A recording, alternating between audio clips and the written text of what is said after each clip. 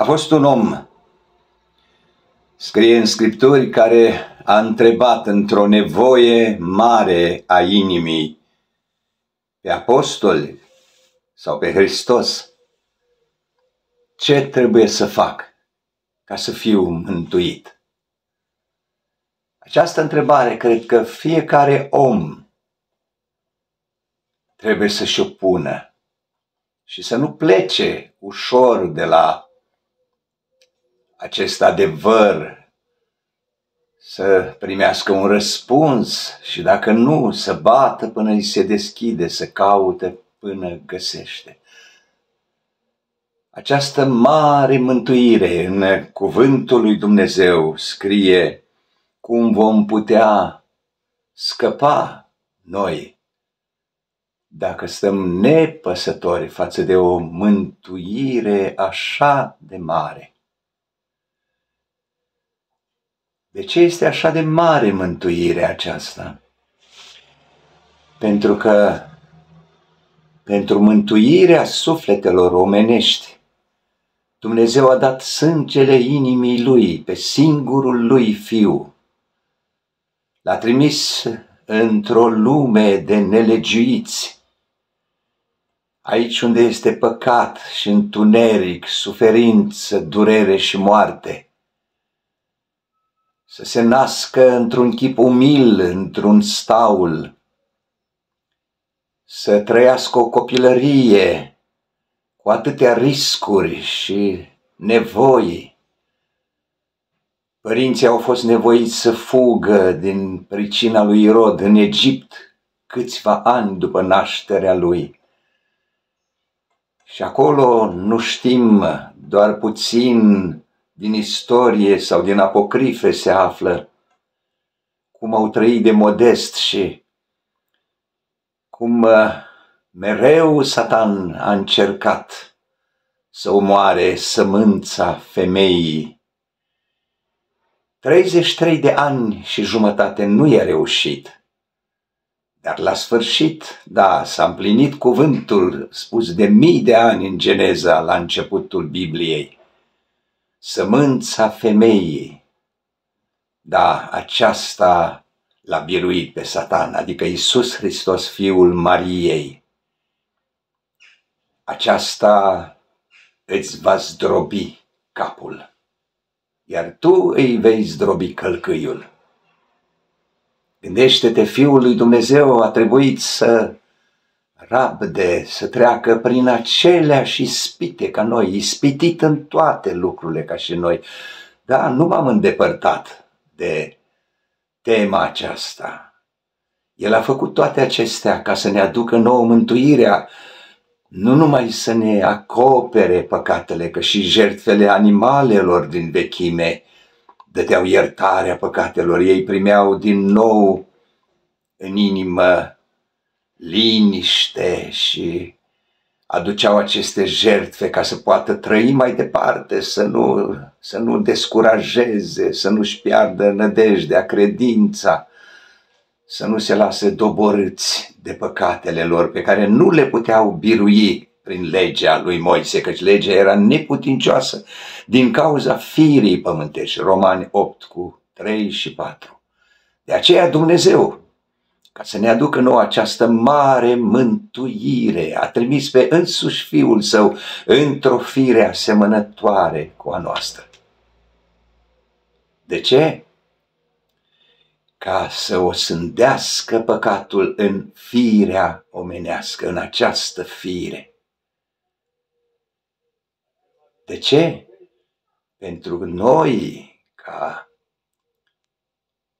ceea ce legea n-a putut face acum să se facă prin Duhul lui Dumnezeu, pe calea nouă și vie pe care Hristos a croit-o 33 de ani și jumătate. Această cale total necunoscută de poporul de azi al lui Dumnezeu, dar care trebuie să fie descoperită pentru aleșii lui numai pentru ucenici, numai pentru cei care își pun inima să nu stea nepăsători față de această mare mântuire, care lucrează și ei, care merg mai departe, cercetează, caută să vadă.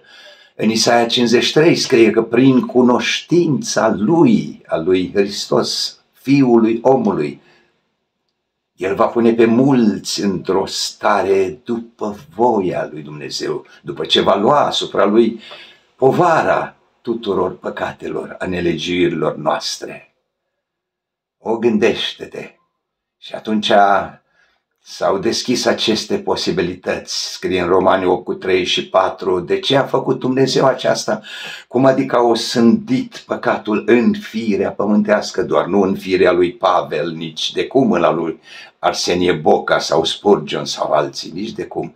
În, acolo, în natura, în firea lui Isus, pe care el a luat-o de la Maria, prin care el a croit o cale nouă și vie, care a trecut prin trupul lui, în original prin firea fleisch, carnea lui.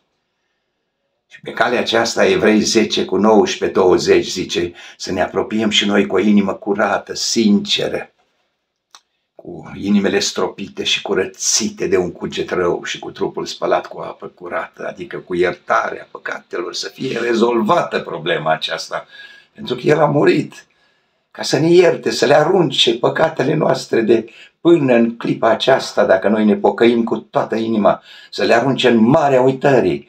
Dar după ce lua, ia asupra lui povara și a luat-o la Golgota când a murit, mielul, iată mielul, zice Ioan, mielul lui Dumnezeu, fără cusur, care a ridicat, care ridică păcatul lumii. Și nu numai pentru ale noastre, zice Ioan, 1 Ioan 2, ci pentru ale întregii lumi. El este jertfa de ispășire. Deci El ne-a adus o mântuire mare și primul lucru este să ne ia această povară, că nu puteam dormi noaptea, că eram chinuiți de gânduri, de amintiri încordate, de amintirea păcatelor noastre încă din tinerețe.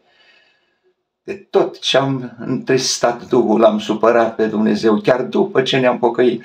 El a venit să le ia asupra Lui, dacă noi ne pocăim cu toată inima, ne cerem iertare. El e credincios și drept să ne ierte de orice fără de lege.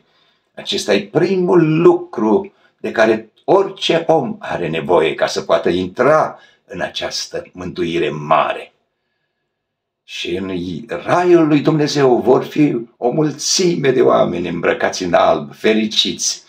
Și când Dumnezeu va crea un cer nou, va crea și un pământ nou pentru aceștia care ajung în raiul lui Dumnezeu. Acolo vor fi și tâlharul de pe cruce și mulți alții care au murit chiar ca prin foc, așa cum este scris, mântuiți ca prin foc. Da, acolo vor fi multe cete de mântuiții, administrația, isprăvnicia lui Dumnezeu aceasta. Să nu crezi tu că, așa cum spune cineva și mulți alții mai cred, că nu e decât o, un fel de mântuiți, că nu sunt mai multe cete, că nu sunt mai multe ranguri sau străluciri. Cum să nu? Învierea morților, zice Pavel în Corinteni, după cum o stea se deosebește de altă stea, așa va fi mântuit. Învierea morților, nu vom avea noi aceeași slavă ca Pavel, poate cel mai mare dintre apostoli, ca Ioan, Petru, Iacov, dar vom avea o slavă asemănătoare cu a lor și cu a lui Hristos, dacă intrăm, acum vine, pe poarta cea strântă care duce la viață, la acea viață dumnezeiască pe care Hristos ne-a arătat-o. 1 Ioan capitolul 1, pe care apostolii au văzut-o cu ochii lor, au pipăit-o cu mâinile lor această viață minunată pe care ne-a adus-o Fiul lui Dumnezeu, pe care această cale el a croit-o zi după zi, ispitit în toate, ca și noi, niciodată n-a păcătuit. Atunci ce a fost osândit de fapt în firea lui? Voia proprie. Acolo zac toate lucrurile care sunt în mintea, în simțurile, în firea unui om. Voia mea, eu vreau, eu pretind, eu mă supăr, eu, mă, eu sunt jignit, eu. Și așa mai departe, eu, eu, toată aceasta a fost omorât în Hristos. Până la ultima suflare, acolo el a fost credincios, până când a zis, Tată, în mâinile tale îmi cânțesc Duhul, până atunci a fost ceva de omorât și ultimul pahar acela, ce nu-l voi bea, totuși facă-se nu voia mea și curgeau picăturile de sudoare, ca niște picături de sânge în ghețimanii cu strigăte mari și cu lacrimi, cu țipete de alarmă, nu doar acolo, zice în evrei, ci în zilele vieții sale pământești, deși în alte nopți și zile de rugăciune și strigăte și luptă. Așa s-a croit calea nouă și vie, să mergem prin ea, prieteni. Iertarea păcatelor, asta e introducerea ca la o carte cu o mie de pagini. Primele două, trei, câteva pagini, introducere. Dar acum cei care primesc în toată plinătatea harul și darul neprihănirii, Roman capitolul 5, vor domni în viață prin Isus Hristos. Acum pentru ucenici s-a croit o cale nouă și vie prin firea pământească, de la un capăt la celălalt, prin jungla aceasta, Hristos a pătruns. Prin ce? Prin ascultare, desăvârșit prin suferințe. El a fost totdeauna desăvârșit în lumină, curat, ascultător de Duhul. Și totuși Biblia spune că a fost desăvârșit și dus la finalizare sau terminat, terminare. Da, prin suferință și prin ascultare. Și atunci zice că a adus celor care îl ascultă pe el, s-a făcut pentru noi, dacă îl ascultăm, urzitorul unei mântuiri veșnice. Despre aceasta e mult mai mult de spus decât despre tâlharul de pe cruce, vameșul de la templu. Și mulți pocăiți sunt încă tot acolo, la templu ca vameșul și ca tâlharul și, Doamne, iartă-ne, adu-ți aminte de mine când vii în rai. Doamne, iar am păcătuit și așa mai departe, ai milă de mine păcătosul, dar nu mai spun apostolii așa ceva, absolut niciun cuvânt în toate epistolele lor. Și acolo sunt lucruri de creștere, de hrană tare, miezoasă, bucate, vitamine cerești, ca noi în fiecare zi să biruim pe Satan prin Duhul și prin cuvântul lui Dumnezeu, cu toată armătura lui Dumnezeu din Efeseni 6, blindați.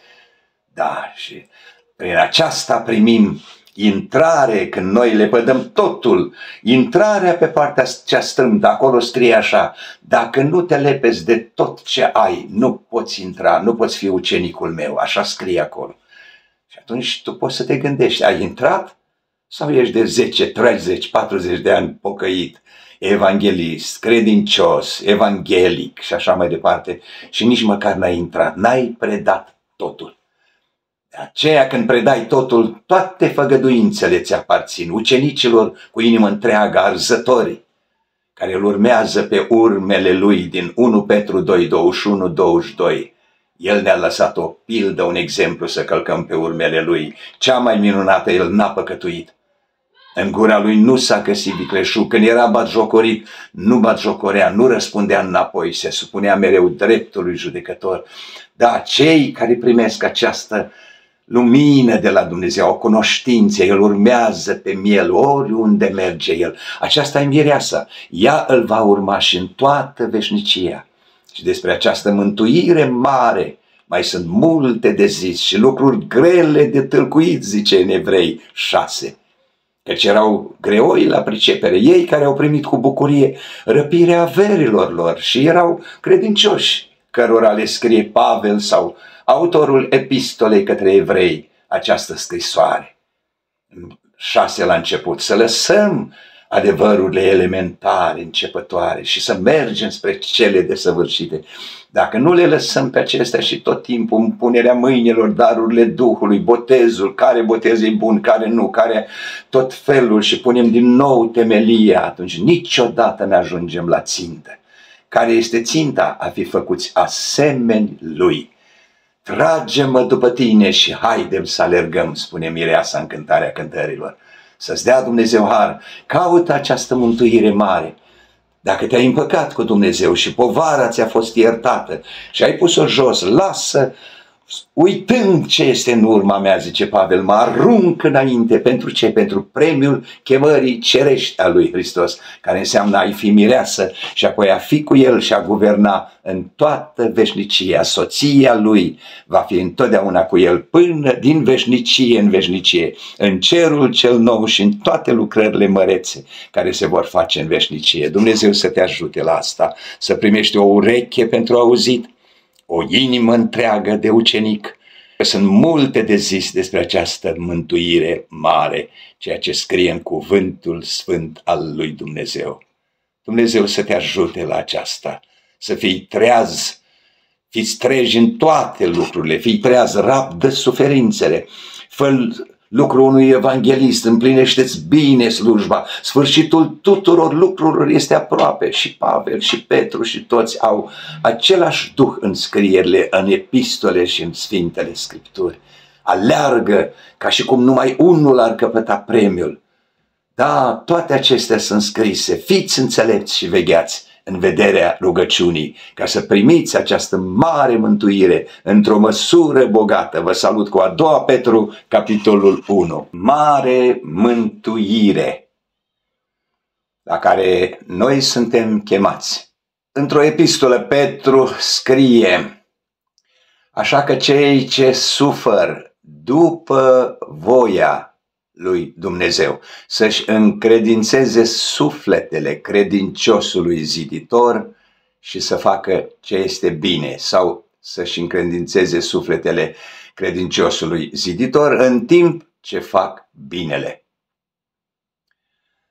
Pentru că mântuirea are două aspecte. Primul lucru de care am vorbit ceva și în prima parte este ca noi înșine să fim uh, mântuiți, eliberați de egoism, de răutate, de mânie, de toate acele lucruri care strică, care fac rău și ne împrejurim și ne fac și nouă rău.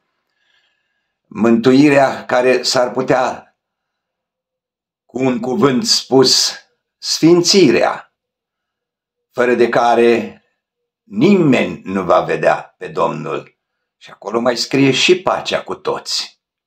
Asta înseamnă că diferiți oameni care intră în legătură cu noi ne pot, pot face una sau alta mai multe probleme, neliniște, supărare, iritare, contrazicere, tot felul de lucruri pot veni în legăturile noastre cu oamenii. Așadar, dacă eu mă port într-un mod evlavios, cu teamă sfântă de Dumnezeu, atunci mă voi purta evlavios și cu semenii mei, cu oamenii din jurul meu. Nu-i voi necăji, nu, nu-i voi provoca într-un mod uh, omenesc, firesc sau sufletesc voi umbla în lumină, voi face binele, atunci ca și la Isus se va împlini, voi fi tot mai plăcut înaintea lui Dumnezeu și înaintea oamenilor. Atunci va fi în general o atmosferă bună cu fiecare om normal, cu fiecare om care are cât de cât un respect, o teamă de Dumnezeu poate. Dar Există și oameni dificili, ciudați, răi, împotrivitori la vorbă, batjocoritori, zeflemiști, um, sadici, răutăcioși din multe puncte de vedere, stricați la minte, uh, care mereu pot să ne facă una sau alta probleme. De aceea, a doua parte a mântuirii este deci prima este sfințirea, a umbla în evlavie, în lumină, pacea cu toți, fără de care nu va vedea nimeni dintre noi pe Dumnezeu, și a doua este a suferi nedreptatea. De asta Petru spune acolo, cei ce sufăr după voia lui Dumnezeu. Au fost martiri care au suferit răutate, batjocură, prigoană, torturi și moarte. Dar nu întotdeauna, nu la aceasta e chemată biserica, ca toți din biserică să sufere, nu. Este scris în Apocalipsa, iată, vei avea un necaz de 10 zile. Toate sunt și limitate de Dumnezeu după puterea de purtare a fiecăruia din noi de a purta. Dar apoi mai există ceva și anume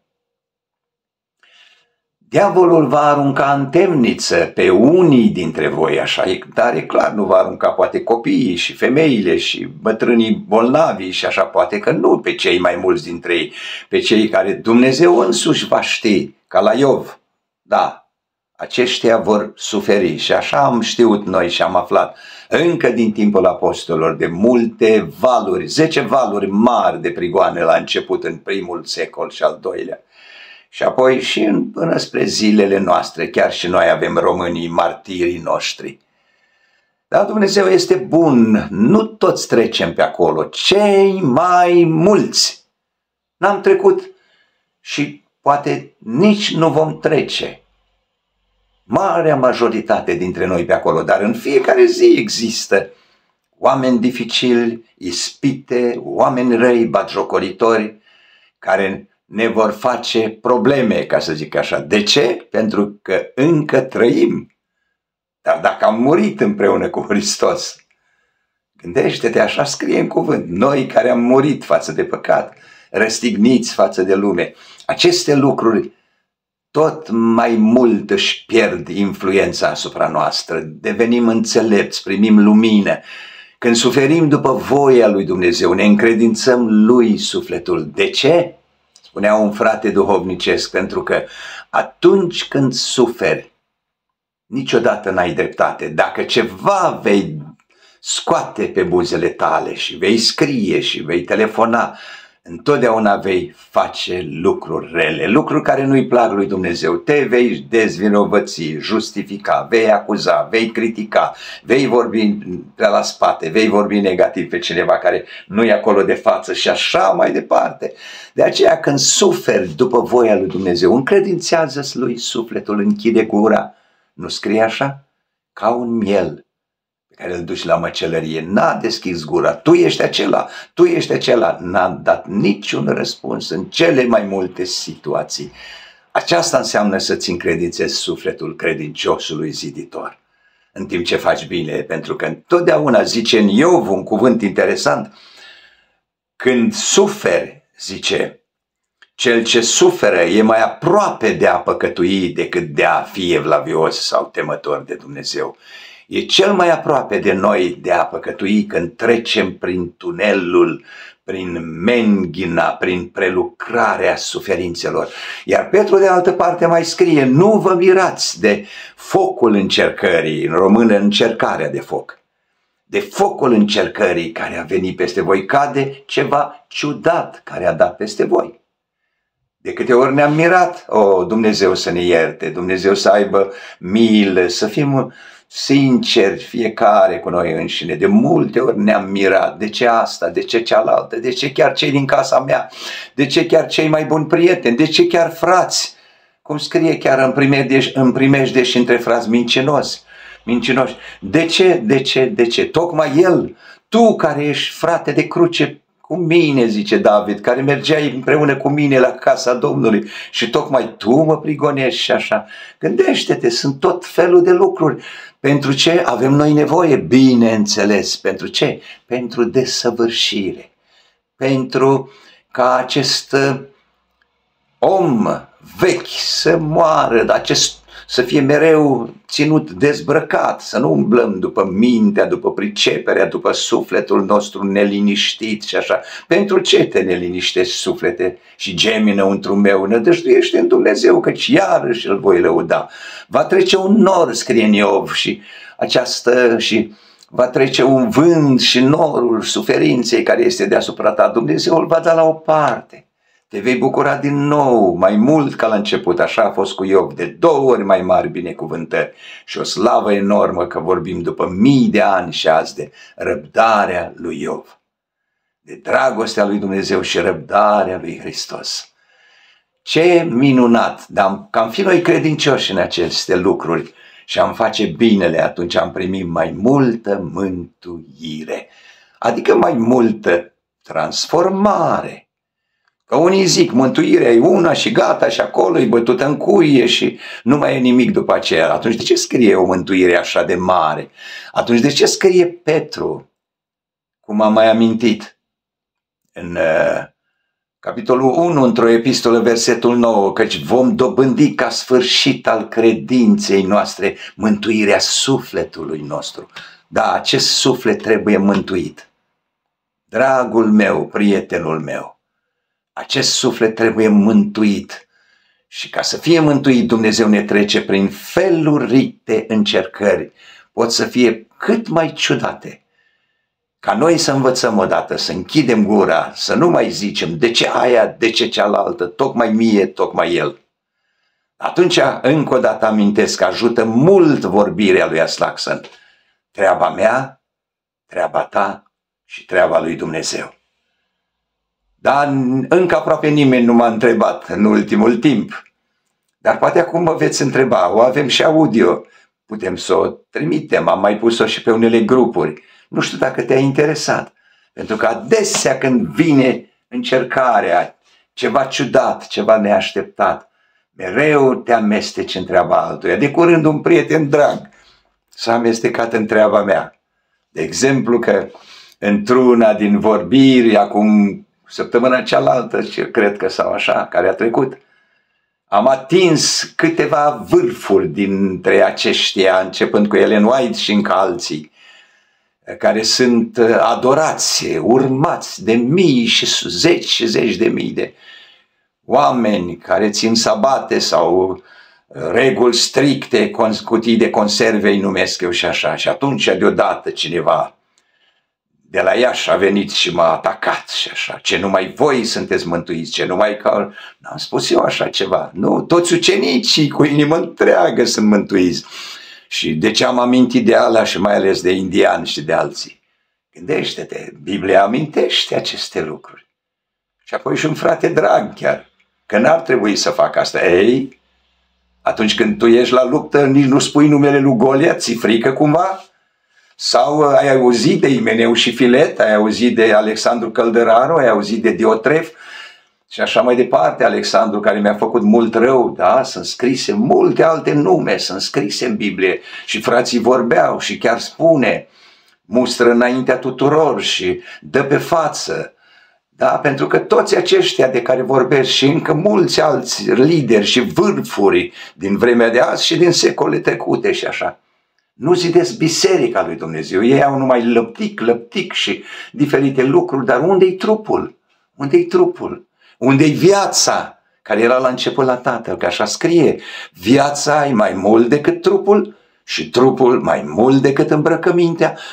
Asta vreau eu să văd și asta eu vreau să spun. Avem această părtășie între noi, cei care am călcat pe aceste urme ale lui Hristos, am lepădat totul am predat totul, am aruncat totul, am uitat tot ce în urma noastră și ne aruncăm spre cei înainte și atunci este și o luptă și uneori trebuie să dai niște exemple, să spui și niște nume și dacă ești interesat și în particular îți pot spune ce părere am de asta și de cealaltă. Nu sunt bisericile, nu-i biserica vie a lui Dumnezeu, sunt multe și multe foarte aproape de adevăr și care vestesc și se străduiesc și se căznesc și ajută văduve, orfanii, cântă, evangelizează, fac lucruri bune, sociale, îngrijesc de bolnavi, multe lucruri minunate. Dar dacă n-a venit mântuirea, gândește-te, două surori au lucrat în misiune în Africa 10 ani de zile, acolo au suferit mult cu țânțari și lipsuri și căldură și toate. Au venit înapoi în America sau într-o țară dezvoltată după 10 ani, locuiau în aceeași casă și nu se înțelegeau una cu alta. Gândește-te, ele nu sunt mireasă. Și au ajutat mulți oameni și sunt unii care au dat milioane și o grămadă de hrană și alimente și trupul poate să fie ars și uh, toată averea săracilor, cum a făcut și Tolstoi, cred că, sau Pușkin, unul din aceștia mari scriitori ruși și așa, și a trăit, a trăit simplu toată viața lui și așa mai departe, dar n-a avut această lumină. Și mulți au scris lucruri minunate și Spurgeon și alții și alții și Watchman Nee, și, dar n-au avut această lumină. unde e biserica? Doar au ajutat oamenii să iasă din păcat, din marile păcate, ca și ostașii și cei din mai marilor de acum 150 de, 100 sau de acum 50 de ani, că Traian Dorz a trăit până mai încoace.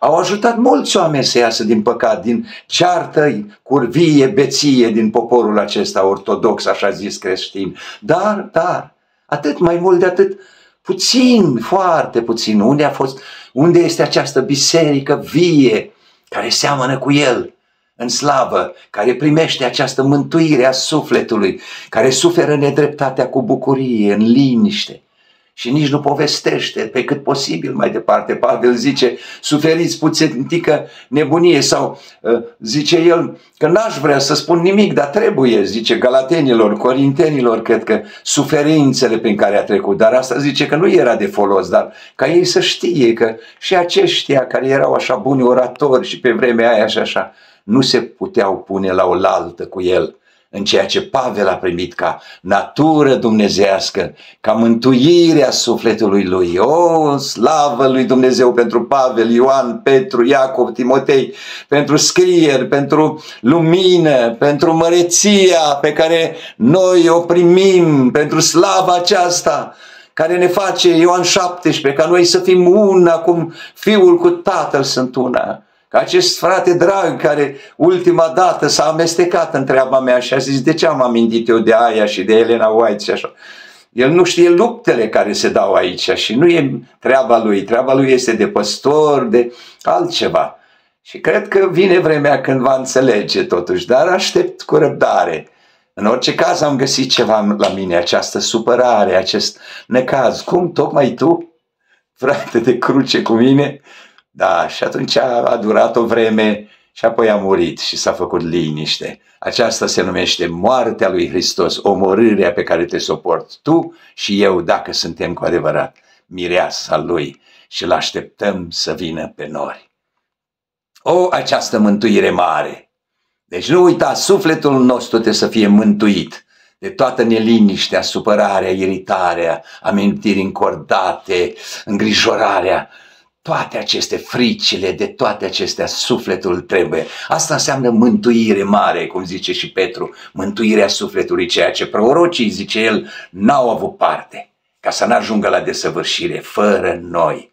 O, această mântuire mare pe care numai mireasa lui Hristos o primește, care va fi aleasa scumpa lui care va guverna cu el în toate veșniciile și pentru aceasta trebuie să suferim al doilea punct de cera și nedreptatea, cu bucurie, cum zicea Slaxon, cu bucurie, fără să ne supărăm, să ripostăm, să comentăm, ci în liniște. Murim în liniște ca bobul de grâu. Mult succes la aceasta, tu care ai o chemare cerească. Amin.